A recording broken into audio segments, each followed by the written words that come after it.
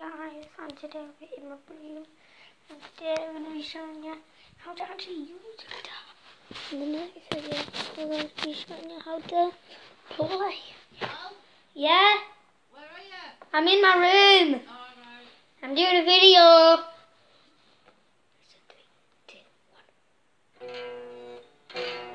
Wait, wait, wait, wait. So when it says volume tone, tone, so so the first tone, it needs to be five. Next one, one. Volume. If you're not really high, just do it um 10 but I don't want it too high so I'll do it uh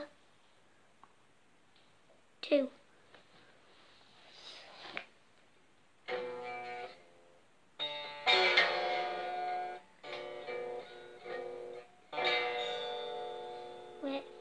on the other part here there you just need to put it up to the middle so three, two, one. So first you need to pull the pull the all the strings at once. So seven.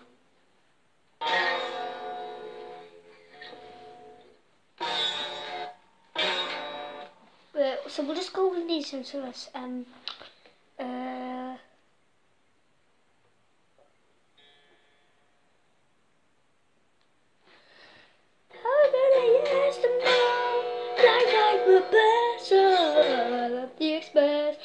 for the boss to run.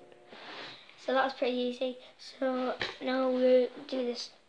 I did it my ways. So next video, we're only teaching you how to do some more stuff. So see you guys in the next video.